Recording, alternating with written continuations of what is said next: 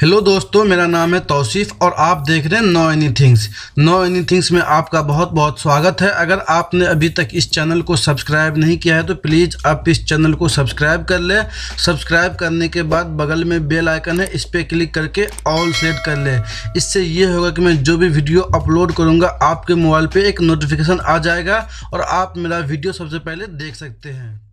दोस्तों, आज की इस वीडियो में मैं आपको बताऊँगा कि नेहरू केंद्र संगठन से तेरह हज़ार समथिंग वैकेंसी आया है वॉलेंटियर्स पद के लिए।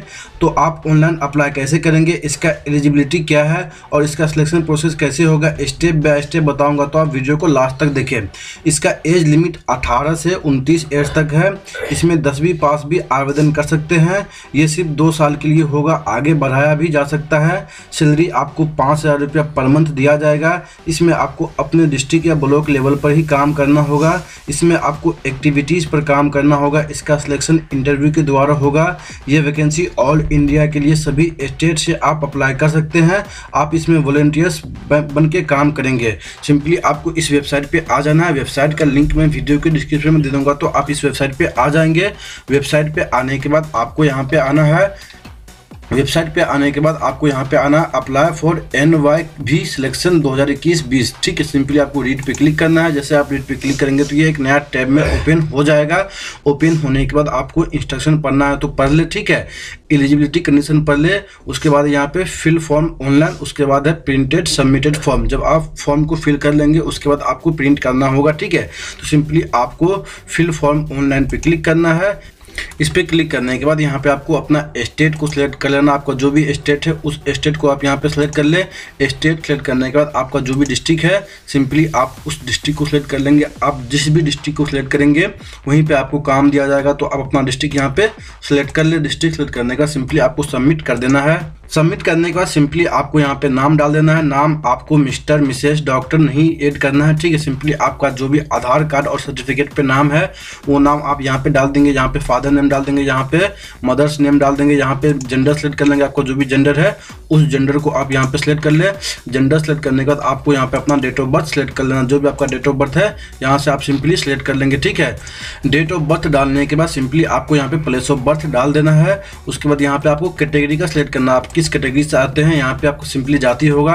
उस जाति में आप किस कैटेगरी से आते हैं सिंपली आप यहाँ पे सिलेक्ट कर ले, ठीक है? उसके बाद यहाँ पे ब्लड ग्रुप है ब्लड ग्रुप आपको पता है तो आप यहाँ पे सिलेक्ट करेंगे। अगर आपको पता नहीं है तो आप यहाँ पे नहीं करेंगे, छोड़ छोड़ देंगे इसको, ठीक है? फिर यहाँ पे आपको वोटर आई कार्ड नंबर डाल देना है, यहाँ पे आधार नंबर डाल देना है, ठीक है? फिर यहाँ पे है हाइएस्ट एजुकेशन क्वालिफिकेशन ठीक है? तो यहाँ पे आपका क्वालिफिकेशन आ जाएगा। आप जो भी किए हैं, इसमें से टेंथ है ट्वेल्थ है ग्रेजुएट है पोस्ट ग्रेजुएट है और post graduate diploma certificate course है, ठीक है? तो आप इसमें से जो भी किए हैं, वो आप कर सकते हैं। यहाँ पे एक्सेप्शन ये है कि अगर आप टेंथ कर लिए हैं अभी और आप अभी ट्वेल्थ या पोस्ट ग्रेजुएशन या ग्रेजुएशन कर रहे हैं तो आप यहाँ पे अप्लाई नहीं करेंगे। आपका रद्द हो जाएगा। जो यहाँ पे पढ़ के बेरोजगार बैठे हुए हैं, वही सिर्फ़ आप यहाँ पे अप्लाई कर सकते हैं। तो आपको अप्लाई नहीं करना। अगर आप अभी पढ़ रहे हैं तो टेंथ करने के बाद तो आपको अप्लाई नहीं करना है। ठीक है? उसके बाद आपको यहाँ पे अपना क्वालिफिकेशन सिलेक्ट कर लेना है। ठीक है? उसके बाद यहाँ पे आपको टेंथ का रोल नंबर डाल देना है। यहाँ पे ईयर ऑफ़ पासिंग डाल देना है। अगर आप टेंथ के बाद कोई ग्रेजुएशन को, कोर्स किए हैं तो उसके बाद यहाँ पे आपको बोर्ड और यूनिवर्सिटी का नाम डाल देना है। अगर आप कोई टेक्निकल कोर्स किए हैं तो उसका यहाँ पे आप नाम डाल देंगे ठीक है? यहाँ पे आपको करेंट स्टेटस ऑफ़ वॉलंटियर में आपको सेलेक्ट करना अगर आप स्टूडेंट है तो स्टूडेंट है तो आप नहीं करेंगे अपना तो ये अच्छा रहेगा क्योंकि आपका पढ़ाई बहुत असर पड़ेगा इस पर ठीक है, आपको काम करना पड़ेगा तो आपकी पढ़ाई नहीं हो पाएगा क्योंकि ये पार्ट टाइम जॉब नहीं होगा फुल टाइम जॉब होगा। ठीक है तो यहाँ पे एम्प्लॉयड है और और अनएम्प्लॉयड है। ठीक है तो आप अनएम्प्लॉयड है या एम्प्लॉयड है तो आप यहाँ पे सेलेक्ट कर लेंगे। ठीक है, उसके बाद अगर आपको कंप्यूटर या इंटरनेट का नॉलेज है तो आप यस करेंगे, नहीं तो आप नो कर देंगे। ठीक है, उसके बाद यहाँ पे लैंग्वेज है सिंपली आपको लैंग्वेज का नाम यहाँ पे टाइप कर देना है। लैंग्वेज का नाम टाइप करने के बाद क्या आप इस लैंग्वेज को बोल सकते हैं? पढ़ सकते हैं, लिख सकते हैं तो आप यहाँ पे चेक कर देंगे, ठीक है? उसके बाद सिंपली आपको यहाँ पे दूसरा लैंग्वेज भी आता है, दूसरा लैंग्वेज भी आप यहाँ पे टाइप कर देंगे, ठीक है? उसके बाद फिर यहाँ पे है, पढ़ सकते हैं, बोल सकते हैं, लिख सकते हैं तो आप यहाँ पे सेलेक्ट कर लेंगे, ठीक है? अगर आप, मान लीजिए कि इंग्लिश है इंग्लिश में आप बोल नहीं सकते हैं तो आप इसे अनचेक कर देंगे, लिख सकते हैं, पढ़ सकते हैं तो आप इसे चेक कर देंगे, ठीक है? उसके बाद यहाँ पे आपको तीसरा लैंग्वेज भी आता है, तीसरा लैंग्वेज भी आप यहाँ पे डाल देंगे, उसके बाद पढ़ सकते हैं, बोल सकते हैं, लिख सकते हैं चेक कर देंगे, ठीक है? उसके बाद यहाँ पे आपको प्रजेंट एड्रेस फिल करना है प्रजेंट एड्रेस में आप यहाँ पे पूरा अपना प्रजेंट एड्रेस फिल कर देंगे, यहाँ पे आपको ब्लॉक और वार्ड को सिलेक्ट कर लेना आपका जो भी ब्लॉक है उसे आप सिलेक्ट कर ले, ठीक है? ये आपका प्रजेंट एड्रेस रहेगा डिस्ट्रिक्ट और स्टेट पहले से सिलेक्ट रहेगा। सिंपली आपको यहाँ पे पिन कोड डाल देना है। पिन कोड डालने के बाद आपको यहाँ पे परमानेंट एड्रेस फिल करना है। परमानेंट एड्रेस आपको फिल करना ज़रूरी है।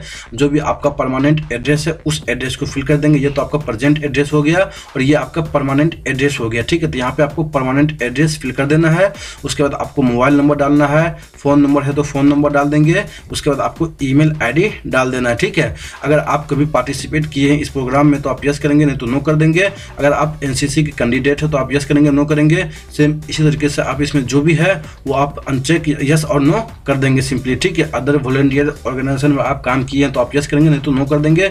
सेम इसी तरीके से आपको जो भी आप किए हैं, उसे आप यहाँ पे सिलेक्ट कर देंगे मतलब कि यस और नो कर देंगे, ठीक है? फिर यहाँ पे है name address and telephone number of two references ठीक है? तो यहाँ पे आपको टू रेफरेंस नंबर डाल देना है यहाँ पे नाम डाल देना है, यहाँ पे एड्रेस डाल देना है, यहाँ पे फ़ोन नंबर डाल देना है फिर यहाँ पे दूसरे पसंद का नाम एड्रेस और फ़ोन नंबर डाल के आपको सबमिट कर देना। जैसे आप सबमिट करेंगे तो आपका एप्लीकेशन सक्सेसफुली सबमिट हो जाएगा। उसके बाद आपको एक एप्लीकेशन नंबर मिल जाएगा। फिर उसके बाद अगर आपको फॉर्म को प्रिंट करना है फॉर्म को प्रिंट करने के लिए आपको इसी वेबसाइट पे आ जाना है। वेबसाइट पे आने के बाद आपको प्रिंट सबमिटेड फॉर्म पे क्लिक करना है। इस पर क्लिक करने के बाद यहाँ पे आपको फॉर्म प्रिंट करने का ऑप्शन आ जाएगा, ठीक है? उसके बाद आपको यहाँ पे एप्लीकेशन नंबर डाल देना है। एप्लीकेशन नंबर जिस टाइम आप फॉर्म सबमिट किए थे तो उस टाइम आपको मिल गया होगा और आपको एसएमएस और व्हाट्सएप के और ई पे भी आ गया होगा आपका एप्लीकेशन नंबर ठीक है? उसके बाद आपको एप्लीकेशन नंबर यहाँ पे टाइप कर देना है।